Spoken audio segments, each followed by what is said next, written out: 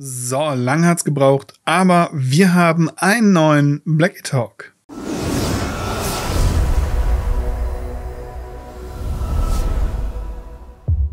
Seit dem letzten Blackie Talk ist ein bisschen Zeit vergangen. Für die Leute, die es nicht wissen, Blackie Talk ist mein Format, wo ich mir ein Thema rauspicke und darüber rede, einfach so frei raus in die Kamera hinein und mit euch eben ein bisschen über ein Thema philosophiere. Manche könnten sagen, es ist mein eigener kleiner Podcast. Ich persönlich nenne es Blackie Talk. Wenn ihr mehr davon sehen wollt, ich habe eine Playlist auf YouTube, wo ihr euch die ganzen alten Blackie Talks anhören könnt, beziehungsweise anschauen könnt. Und wenn ihr was hört, Spotify und so weiter, dort könnt ihr tatsächlich die Blackie Talks, auch die alten, nachhören und kommen jetzt auch über die Zeit hinweg ältere Blackie Talks dazwischen. Dementsprechend seid nicht verwirrt, wenn gerade auf Spotify ältere Blackie Talks dazukommen, während neue auch dazukommen und so weiter und so fort. Äh, wie man sieht, ich bin aktuell noch auf der Arbeit. Äh, ich habe mir jetzt äh, Feierabend und dementsprechend dachte ich, perfekte Zeit, um mich hinzusetzen und mit euch über lustige Dinge zu reden. Lustige Dinge heißt für mich Magic the Gathering. Und zwar so ein bisschen die Idee, was Wizard of the Coast meiner Meinung nach aktuell irgendwie ein bisschen, bisschen schief drauf hat. Und wie immer, das ist äh, meine freie Meinung. Wenn ihr eine andere habt, schreibt es gerne in die Kommentare. Äh, seid lieb zueinander, seid nett zueinander. Das hier ist auf keinen Fall Hate, Bashing oder sonst irgendwas in irgendeine Richtung. Dafür gibt's andere YouTube-Channel. Das ist einfach nur das, wie ich mich hinsetzen würde und auch bei uns im Local Game Store oder ähnliches über dieses Thema reden würde. Oder euch das erzählen würde, wenn ihr mich einfach so fragt, mitten auf der Straße oder so. Mein Problem mit Magic aktuell ist der Fakt, dass Magic ganz, ganz wenig für neue Spieler macht. Ich meine, ja, Marketingkampagnen, neue Spieler, bla, habe ich alles mitgekriegt, sind nicht gut. Denn das Problem ist, dass Wizard of the Coast aktuell gar nicht so richtig weiß, welche Spieler sie ansprechen möchte, wen sie ansprechen möchte, wie sie wen ansprechen möchte. Wir haben mit Wizard of the Coast aktuell eine Firma, die irgendwie neue Produkte reinhaut, wie zum Beispiel diese Farbbooster, die für Einsteiger waren, äh, Jumpstart ganz populär, ähm, die einfach mittendrin diese Minigames hatte und nicht wusste, wohin damit, die jetzt ein Cluedo-Spiel rausbringen. Und das Ganze erinnert mich an eine Zeit, die ich schon kenne. Denn ich persönlich spiele Magic schon über die Hälfte meines Lebens und ich bin alt. Glaubt mir, ich bin alt. Am Sonntag werde ich noch älter, deswegen glaubt mir, ich bin alt. Magic the Gathering hat diese Phase so 2009, 2012 irgendwie dazwischen gehabt. Dort, wo zum Beispiel sowas wie Plane Chase rauskam, Arch Enemy oder eben auch Commander. Ich sag's immer wieder, Commander war ein Format wie Plane Chase, wie Arch Enemy, wie irgendein anderes Format. Es gab ja noch Vanguard ganz am Anfang und so weiter und so fort. Ähm, wenn ihr wissen wollt, wie diese Game Modes funktioniert haben, auch hier habe ich ein kleines, aber feines, habe ich eine kleine, aber auch feine Playlist für euch, wo ich euch diese Game Modes ein bisschen erkläre. Ähm, wenn ihr da Interesse dran habt oder mal was anderes als Commander spielen wollt oder euer Commander Game ein bisschen abspacen wollt, schaut da mal rein. 2009, 2012 hatten wir eine Phase, in der Magic wirklich äh, Probleme hatte. Es verließen immer mehr Spieler das Spiel und sie haben probiert, neue Produkte auf den Markt zu hauen. Damals gab es die allerersten, ich weiß gar nicht, ob sie auch Challenger Decks hießen. Sie hießen auf jeden Fall, es waren auf jeden Fall stärkere Starter Decks.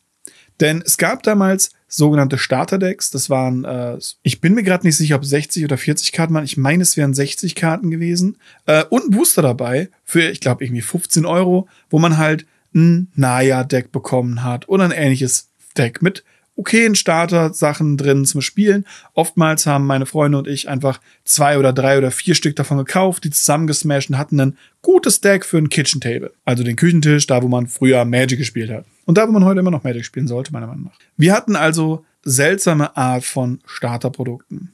Aber wir hatten Starterprodukte.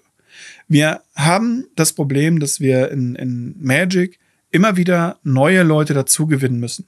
Denn ja, es gibt Leute, die lange spielen, so wie ich, aber das bringt erstens der Firma nichts und zweitens der Spielerschaft nichts. Denn so alte Hasen wie ich sind eine kleine Ausnahme.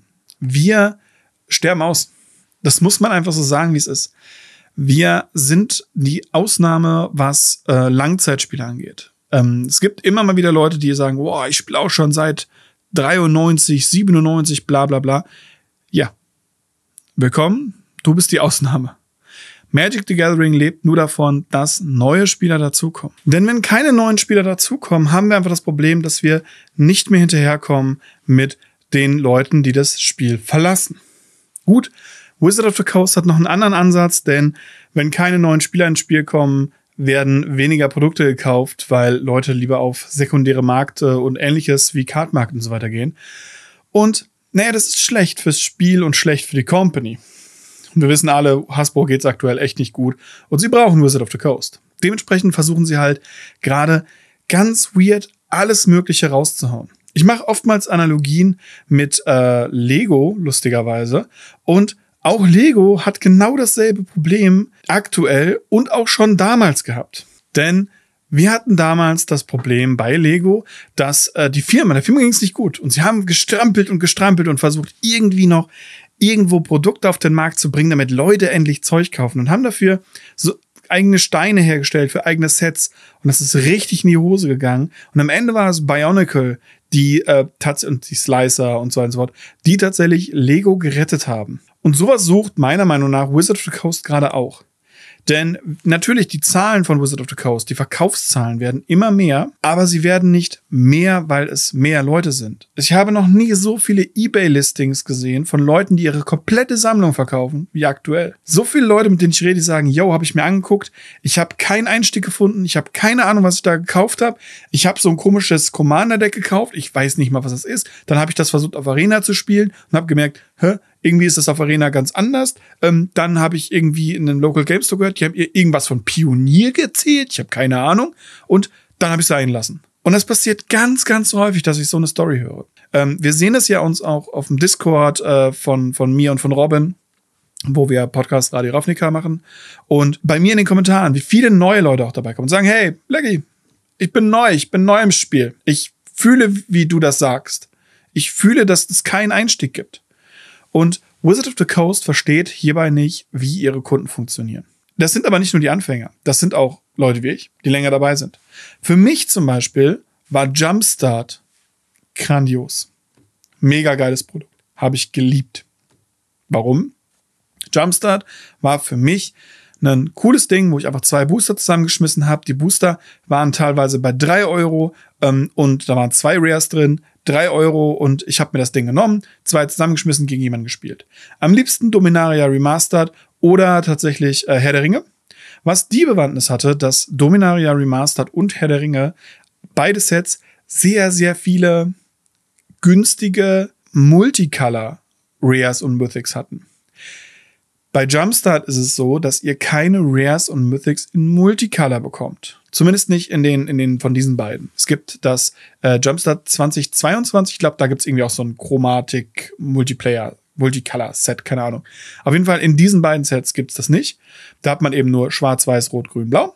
Und aus diesen ganzen Farben hat man in schwarz, in beiden Farben ist es schwarz, nicht so viele Rares und Mythics. Wodurch, wenn ihr eine Mythic innerhalb eines Dominaria Jumpstart Displays zieht und die schwarz ist, ist die Chance 1 zu 3, glaube ich, dass ihr eine Sheoldred zieht. Wir haben aktuell drei Jumpstart Displays mittlerweile durchgeprügelt. Und wir haben drei Sheoldreds. Also ich habe drei Sheoldreds. Deswegen habe ich noch keine vierte, weil ich habe noch zwei Displays. Das macht so viel Spaß, es einfach nur runterzuspielen, zu sagen, hey, lass mal, lass mal eine Runde Magic spielen, Jumpstart. Gib ihm. Und das hätte man weiterführen müssen. Aber man hätte es den Leuten erklären müssen. Man hätte den Leuten erklären müssen, hey, da ist cooler Stuff drin.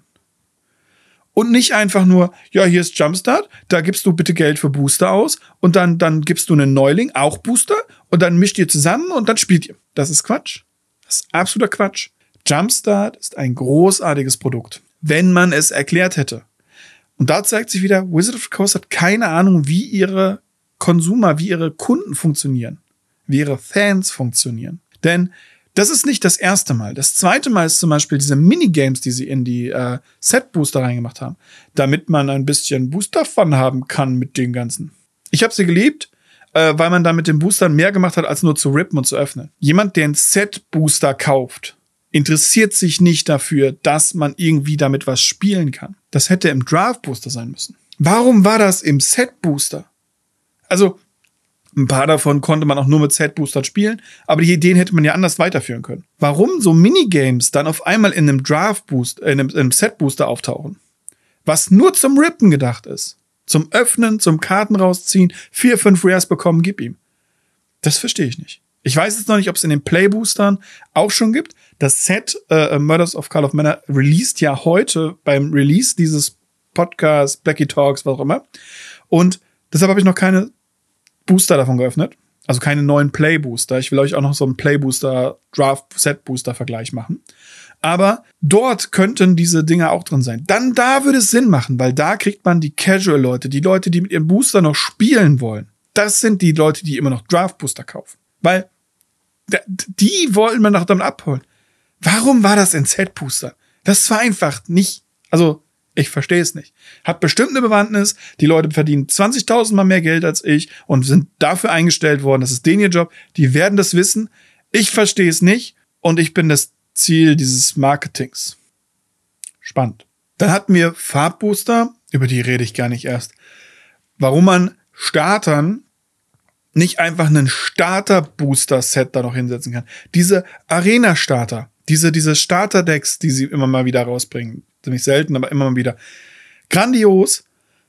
Aber da gibt's ja keinen Weg hin. Letztes Jahr hatten wir nicht mal Pionier Challenger Decks, wo man sagen könnte, hey, du hast dieses Starter Deck hier gekauft, ähm, wo ganz viel Low-Kram drin ist, zu Herr der Ringe, weil du Herr der Ringe-Fan bist. Findest du cool? Ja, okay, cool. Ähm, wie wär's? Okay, Herr der Ringe ist ein scheiß Beispiel, weil es nur für Modern draußen ist. Ah, erklär mal Leuten, Leuten, dass das nur für Modern ist. Egal. Das ist ein anderes Thema. Das ist ein anderer Blackie Talk über Formate und wie großartig aktuell Formate sind. Ähm, wenn ihr den hören wollt, schreibt es mir in die Kommentare, Daumen nach oben und so. Dann sehe ich, dass sie da Interesse dran hatte. Dankeschön.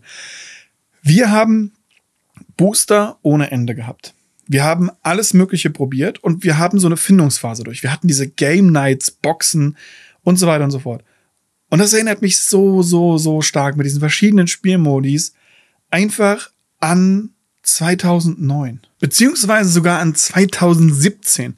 Das ist gar nicht so lange her. Und zwar zum ersten Ixalan-Set hatten wir ein Brettspiel Magic. Also Magic hat ja schon ganz oft ihren, ihre Franchise weggegeben für irgendwie ein Produkt. Es gibt Ravnica irgendwas, das ist so ein Werwolf-Verschnitt. Es gibt dieses Tabletop Duel of the Planeswalker oder so. Ähm, als Tabletop, da gibt es sogar zwei Erweiterungen zu. Es ist gar nicht mal so kacke. Ähm, und, und, und, und. Es gibt, es gibt Magic-Franchised Sachen ohne Ende. Und es gibt Explorers of Ixalan. Explorers of Ixalan war ein dermaßen schlechtes Produkt. Das Spiel war gut. Das Spiel war gut. Und was sie damit versucht haben ist, also wer es nicht kennt, das ist Ixalan, äh, das allererste Ixalan, nicht das, das gute Ixalan, sondern das alte, schlechte Ixalan. Und man hat halt ein Magic-Duell gehabt und in der Mitte hat man so ein Brettspiel, wo man die, langsam die Map erkunden musste. Und wenn man die Map erkundet hatte, dann hatte man einfach ähm, Bonusse bekommen, während man normales Magic Multiplayer gespielt hat. Also genau wie jetzt Cluedo. What? Das ist gefloppt. Das ist hart gefloppt. Dieses Brettspiel steht, glaube ich, immer noch in den meisten Spielerläden. Wenn ich irgendwo mal ein günstiges kriege, so irgendwie, keine Ahnung. Ich glaube, aktuell werden sie so für 40 gehandelt. Wenn ich sie mal für 30 kriege, dann kaufe ich das mal und zeige euch das mal. Ähm, wenn irgendein Store da draußen das noch rumliegen hat und es mir für 30 verkaufen will, sagt Bescheid. Äh, E-Mail-Adresse kennt ihr, ist äh, im Profil verlinkt. Ähm, ja, cool. Ansonsten, das Spiel kam raus und kostete, glaube ich, 70, 75 Euro für ein Brettspiel, für das man Magic können muss und ein Brettspiel draus spielen möchte, statt Commander. Das ist dieselbe Argumentation, warum jetzt in diesem Cluedo-Ding diese ultra fancy, sehr hübschen Schockländer drin sind. Sonst wird das doch keiner kaufen. Außer die Leute, die gleichzeitig Cluedo und Magic großartig finden oder noch nie Cluedo gespielt haben, aber nur Magic gespielt haben und dann sagen, boah, Jetzt mal ein anderes, aber das gibt's nicht. So Leute gibt's nicht.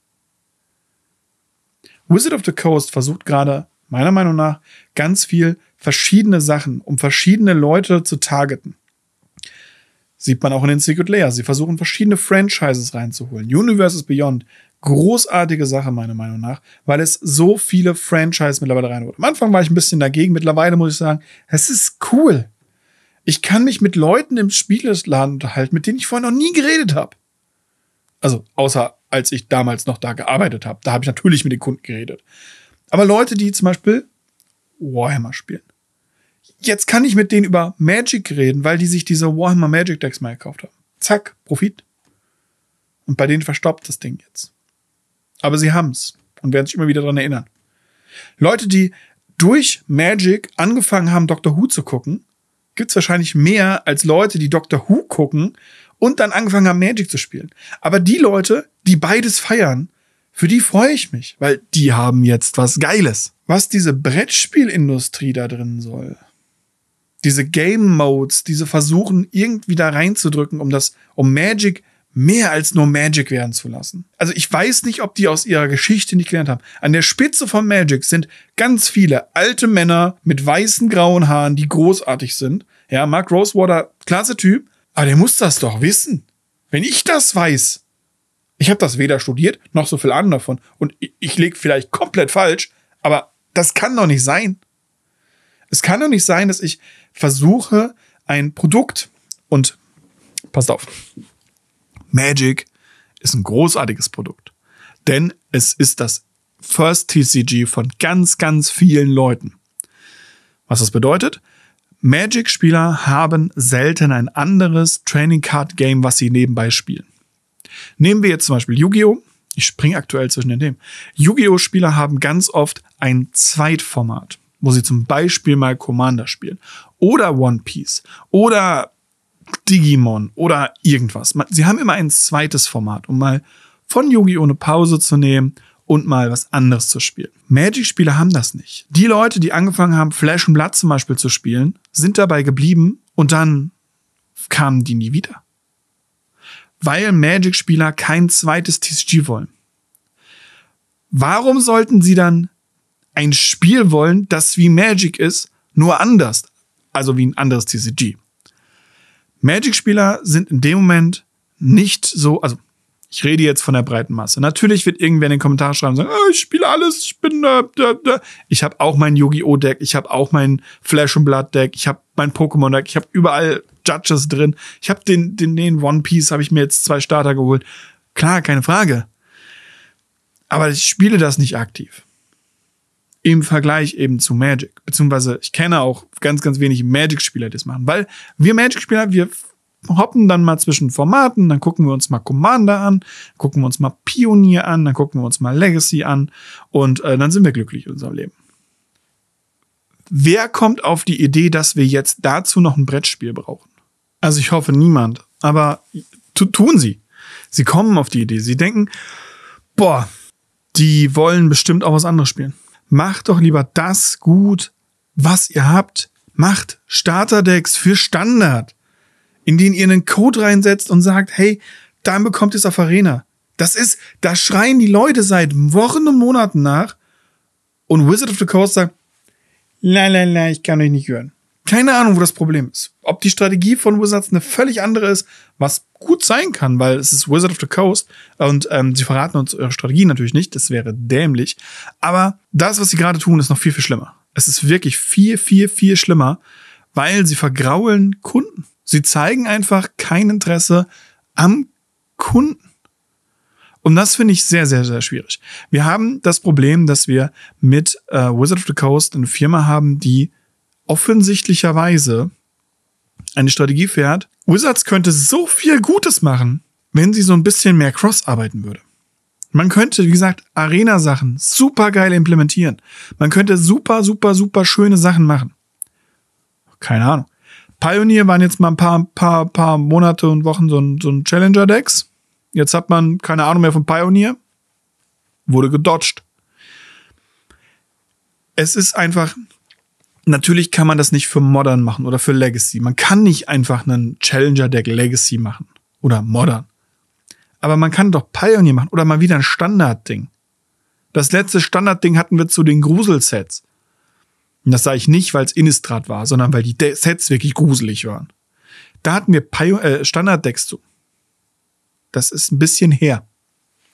Und da muss ich sagen, das finde ich echt schade. Ähm, ich meckere ja manchmal auf den Fokus vom Commander. äh, dass ganz, ganz viel immer, immer Commander und hier noch Commander-Decks und zu jedem Set müssen vier Commander-Decks rauskommen, dann kommen noch Secret Lair Commander-Decks raus und übrigens, da kommen noch Special Editions, äh, Universes Beyond, äh, Doctor Who, äh, Assassin's Creed oder sonst was für Commander-Decks noch raus. Also es kommen jetzt noch die von Fallout zum Beispiel, die Commander-Decks. Und da muss ich halt sagen, ja, ich verstehe es, es macht Sinn, weil, sind wir ehrlich, vermutlich spielen ungefähr 98% aller Magic-Spieler Commander. Das ist die Zukunft. Dazu habe ich mal einen Blackie Talk gemacht, wo ich drüber geredet habe, warum Commander die Zukunft von Magic ist. Warum versucht man jetzt etwas anderes wie Commander zu machen, wenn man Commander so hart fokussiert und alles andere ignoriert. Also ich könnte es verstehen, wenn man sagt, hey, Commander ist das beste Format überhaupt, weil ähm, da verdienen wir ganz viel Geld dran. Ihr habt Spaß. Win-win. Aber wir machen auch sowas für die Standardleute. Oder für, für, für sonst wen. Und wenn jetzt irgendjemand kommt und sagt, hey, wir haben doch Modern Horizons 2 für die Modern-Leute gemacht. So ein Quatsch. So ein Quatsch. Kaum Modern-Spieler wollte Modern Horizons 2. Die, die, die, die Commander-Spieler wollten das. Weil Commander, also, Entschuldigung, Modern Masters 1 ein sehr schönes Commander-Set war. War wirklich ein gutes Commander-Set. 2 ist halt weird. Einfach weird. Und da muss ich sagen, das finde ich halt irgendwie ein bisschen, bisschen schräg.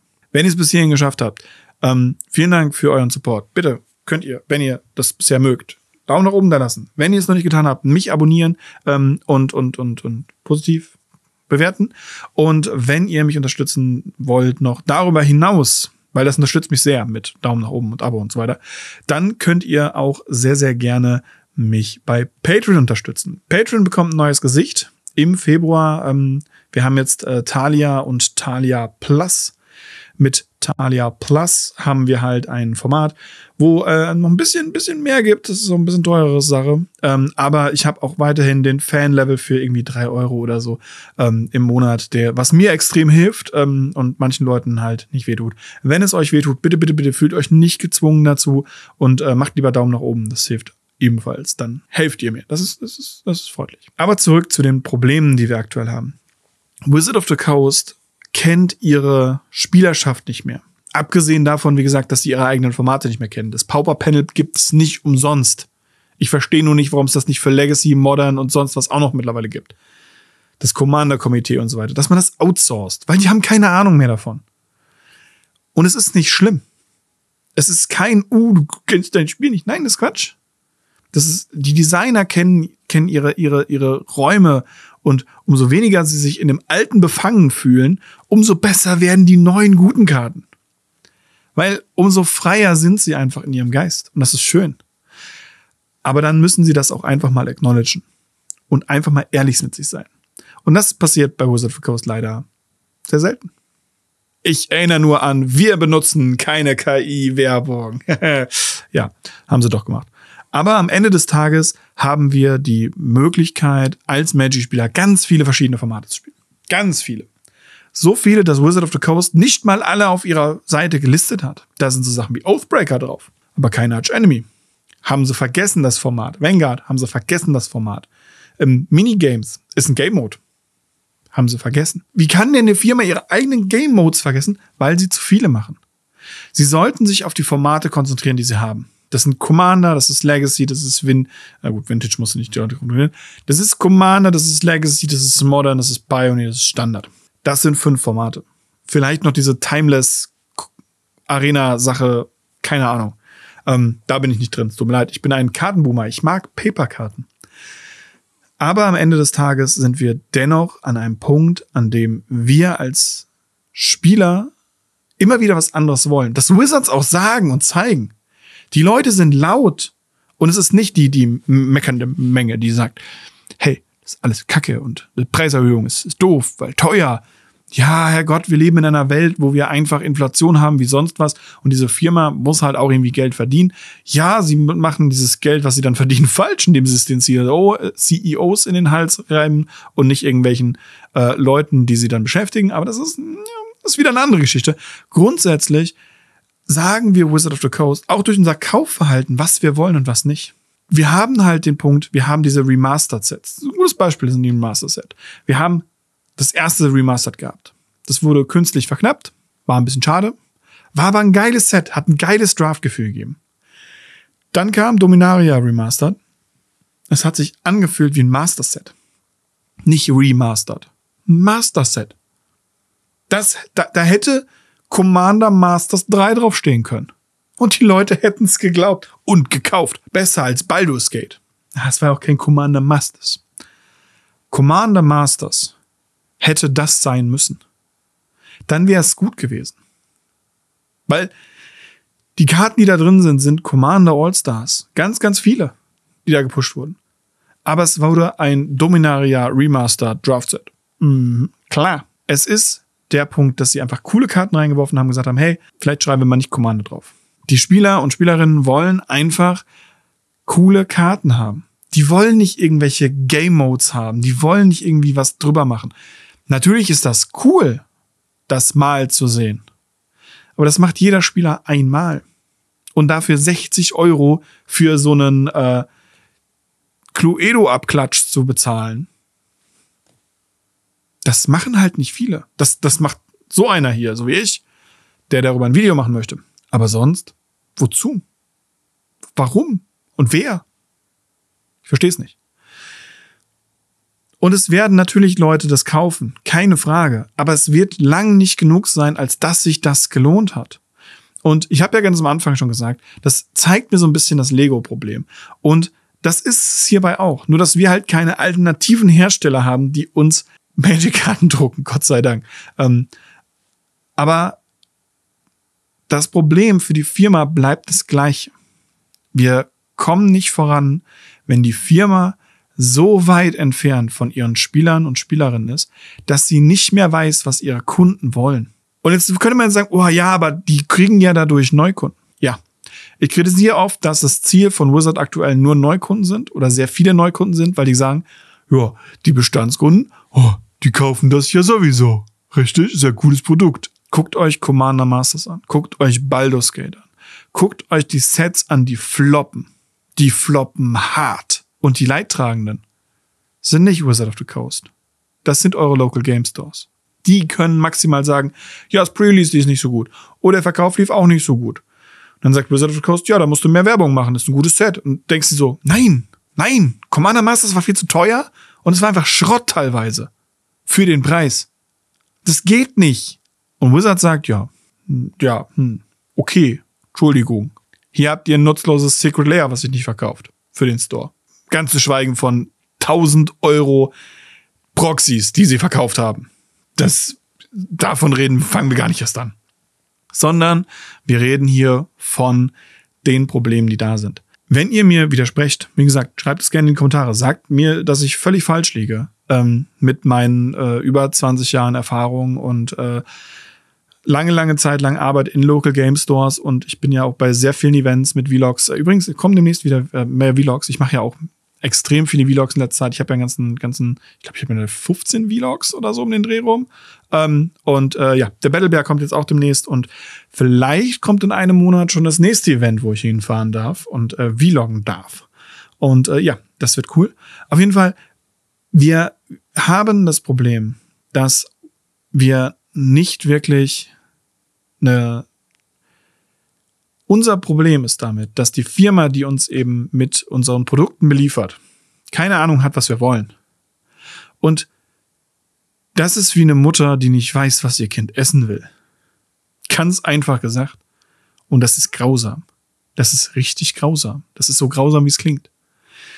Wizard of the Coast versucht irgendwelche Minigames, irgendwelche anderen Spielarten. Ich liebe das. Ich persönlich liebe das, ja. Aber ich bin halt auch kein Commander-Spieler. noch mit reinzudrücken, während sie halt Commander melken wie eine Kuh, ja. Und zwar nicht die, die draußen auf der Weide sitzt, sondern die, die drinnen im Stall angestellt steht und nur noch am Melken ist, ja. Und sie versuchen das mit anderen Formaten halt genauso, merken, okay, das sind halt äh, irgendwelche, keine Ahnung, das sind keine Milchkühe, das sind Bullen. Die treten aus, das ist schlecht. Dann machen wir es wieder bei Commander. Und dann versuchen sie halt jetzt irgendwie haufenweise andere Sachen. Sie versuchen so viel gerade. Die ganzen Foilings, die sie probiert haben, die Serialized Karten, die sie jetzt probiert haben, die verschiedenen Farben, die sie probiert haben, mit den Neon Inks und so weiter. Und jedes Mal sage ich dasselbe. Sie übertreiben es jedes Mal hart. Wir müssen das nicht in jedem Set haben. Wir müssen das nicht bis zum Erbrechen haben. Wenn wir 20.000 Serialized Karten haben, mal 500, mal 500, dann juckt uns die auch nicht mehr. Dann ist das mal ganz nett, sowas aufzumachen, aber dann kommen eben Serialized Karten für 30 Euro, 40 Euro. Es ist einfach so, dass das, wo ist dann so, oh, das wollt ihr? Hier habt ihr ganz viel davon. Nein! Und dann probieren sie halt wieder das nächste. Sobald wir dann sagen, hm, ja, hm, vielleicht das Foiling war ein bisschen viel. Ja, hier nochmal Serialized Karten, oder? Das mochtet ihr doch. So lange, bis wir sagen, nö, möchten wir nicht. Und da geht's mit den Game Modes mit den verschiedenen Sachen, mit den Möglichkeiten, wie sie was machen, mit, mit Plane Chase, das sie ja jetzt beigefügt haben wieder. Und beim ersten Plane Chase war es noch so, oh, Plane Chase ist wieder da, alle total, wow, Plane Chase voll cool. Dann Doctor Who, mm, ja, mm, ah, mach mal nochmal Chase rein, oh, mach mal noch Plane Chase rein, mm, Chase, komm noch Plane Chase. Warum? Es ist wirklich, wirklich schwierig, wenn die Firma, die das vertreibt, so disconnected ist von den Leuten, die das kaufen wollen. Wie gesagt, die Firma führt Millionen Gewinne ein. Milliarden, Billiarden, wenn es sein muss. Ja, ich kenne die genaue Zahl gerade nicht.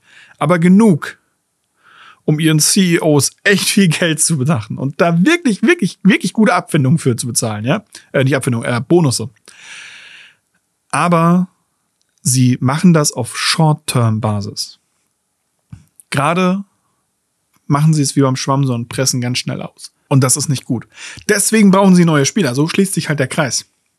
Deswegen sind Bestandskunden nicht wichtig, weil die kann man nicht lange noch pressen. Die sind irgendwann leer. Und ich für meinen Teil bin da schon sehr, sehr lange leer. Ich feiere neue Produkte. Ich mag auch die Game Modes. Also versteht das bitte nicht als Ramping gegen Game Modes. Ich habe mir, wie gesagt, das Cluedo-Ding gekauft, weil ich es cool finde. Aber wie gesagt, ich spiele auch zum Beispiel kein Commander. Und ich spiele auch verschiedene andere Kartenspiele und Brettspiele und so weiter und so fort, weil es mein Job teilweise war, früher, als ich noch im Local Game Store gearbeitet habe. Es ist eine Seltenheit. Und nicht selten verschätzen wir uns damit ganz, ganz hart, wenn wir denken, ah ja, hm, hm, vielleicht, ja, ich, ich, ist nicht meins, aber vielleicht finden wir jemanden, der es mag. Das sind Ressourcen, die verschwendet werden. Das sind Minuszahlen, die wieder eingefangen werden müssen. Und das sind Minuszahlen, die damals bei Ixalan schon da waren. Das sind Minuszahlen, die 2009 schon da waren. Und davor mit Vanguard. Und da muss man sagen, das weiß Wizards. Warum machen sie das wieder? Also, man kann natürlich immer mal wieder probieren, ob es jetzt vielleicht funktioniert, in die Brettspielindustrie einzusteigen. Natürlich kann man das versuchen aber nicht mit der Kundschaft, die man hat. Und wie gesagt, es mag meine eigene Meinung sein, die ich in einer Bubble bin, die super weird ist und überhaupt nicht den, den, den Mehrheit widerspricht. Ähm, es kann natürlich sein, dass es einfach nur in Deutschland so ist und äh, die Amis da komplett drauf abfahren. Keine Ahnung. Ich wollte jetzt fast gesagt, ich bin einfach nur ein Typ, der das in die Kamera redet, aber das sagen meistens die Leute, die ich absolut verabscheue. Ähm, dementsprechend, ja, ich versuche einfach nur mit Fakten, mit, mit Sachen, mit Geschichtssachen, mit Geschichtsanalysen, wie es bisher war, meiner Wahrnehmung und dem, was ich mag, was ich nicht mag, euch so ein bisschen auch das preiszugeben und mit euch ein bisschen ins Gespräch zu kommen. Wie gesagt, in den Kommentaren könnt ihr gerne was dazu sagen. Mehr habe ich dann auch nicht mehr als die Aussage, Wizard of the Coast ist zu weit weg von ihren Kunden. Und sie hören zu wenig auf ihre Kunden. Und zu viel auf irgendwelche Verkaufszahlen, die nicht langfristig gedacht sind, sondern sehr, sehr kurzfristig. Und es macht mir wirklich Sorgen um das Spiel, das ich so sehr liebe. Wie gesagt, Commander ist, ist die Zukunft. Commander ist das Format schlechthin. Ähm, ich werde trotzdem für Legacy die Fahne oben halten. Aber Commander ist die Zukunft und das melken sie schon mehr, als sie können. Irgendwann sind alle anderen dran. Und wenn die nicht mehr können, eben neue Kunden. So wird sein. So war es schon bei anderen Firmen. So ist es, wie gesagt, gerade zum Beispiel bei Lego und ähnliches. Und da haben wir nur eine Wahl. Und da müssen wir uns mit abfinden, dass das so auf uns zukommt, weil wir so antrainiert werden. Ist leider so. Abgesehen davon, dass halt ein Neueinsteiger überhaupt keine Ahnung hat, wie er Magic spielen soll. Hauptsache, er gibt Geld aus. Das ist ja das Wichtige. Es muss verwirrend sein, damit der Kunde nicht weiß, was er kauft, damit er möglichst viel kauft und sagt, boah, 400 Euro, um in das Hobby einzusteigen, das ist ja gar nicht so teuer. Richtig, für Warhammer, für Magic oder für ein Kartenspiel ist es teuer. Dafür kann ich mir eine komplett Collection Yu-Gi-Oh! fast kaufen. In Magic kriegst du einen Booster mit Proxys. Nicht mal einen Booster mit Proxys dafür. Es ist einfach aktuell sehr, sehr schwierig mit dieser Company irgendwie als Kunde zu agieren. Und da rede ich, wie gesagt, nicht als, als Influencer oder als, als Content-Kreator oder sonst was. Ähm, ich habe, wie gesagt, ein anderes Verhältnis zu, zu, zu Wizards ähm, als, als viele Leute, die nur, nur Kunden sind, für die das halt eine ganz weite Ivory Tower-Geschichte ist. Ich bin einfach nur ein Spieler in dem Moment, der diese Spielermeinung vertritt und nicht irgendwie ein Content-Kreator oder ein Influencer oder jemand, der sagt, öh, anstacheln, voll schlecht. Nein, Wizard of the Coast hat ihre Gründe und wie gesagt, sie verdienen wesentlich mehr als ich und vielleicht haben die auch eine bessere Strategie als ich oder sie besuchen dieselbe Business School wie die Leute von Lego. Keine Ahnung. So oder so. Wenn ihr eine Meinung habt, ab in die Kommentare damit, wenn ihr euch das Video gefallen hat und wenn euch der Podcast gefallen hat oder der Black Talk, Daumen nach oben da lassen oder bewerten oder was auch immer das bei Spotify ist. Ich habe keine Ahnung. Und dann hoffe ich auf eine rege Kommunikation unten in den Kommentaren und wir sehen uns beim nächsten Mal. Bis dahin. Euer Ciao, ciao.